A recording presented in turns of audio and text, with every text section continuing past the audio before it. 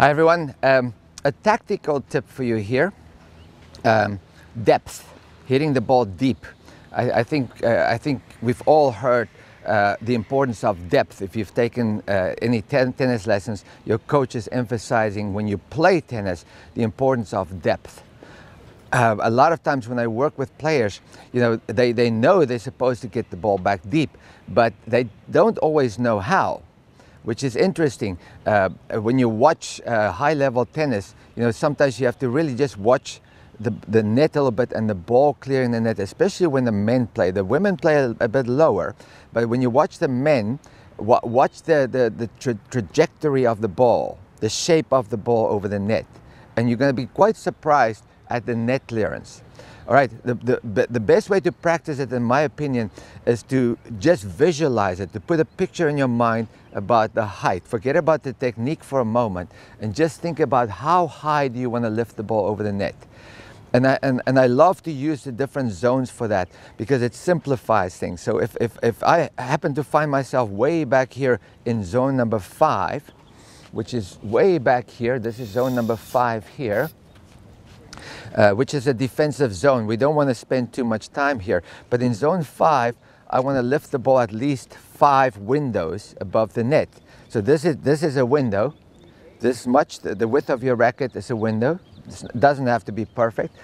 And you use the window and you, you, you pretend this is the net and you put your racket on top of the net. So if I would have my racket on top of the net now, I would, I would want to go one, two, three, four, five windows above the net. So from here, at least five windows or more. If I find myself here in zone four, which is this zone here, which is where we make most of our ground strokes from, I want to lift the ball four windows above the net. Four windows, one, two, three, four, or more, right? We don't want to go much lower than four, then the ball's going to start to land short. So without even thinking, I'm just visualizing the height. So if I'm standing here in zone four, I'm thinking lift the ball about four windows or about three feet more or less above the net. Now you, you notice when I'm hitting the ball, when I'm, I'm lifting the ball that high, you, you can see in the back where the ball lands. The ball lands very close to the baseline.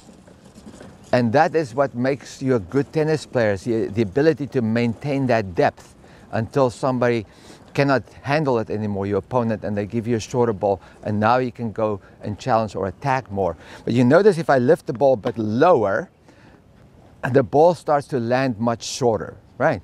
So by just adding height, by just visualizing the height without thinking about the technique so much, you can get that ball nice and deep by just understanding the height above the net. Ean is now available for OTI private lessons in Boca Raton, Florida. When you work with Ean, you get state-of-the-art instruction according to the OTI methodology with instant video feedback on the court. If you want to take your game to the next level with private lessons, simply click the link inside this video for all the details.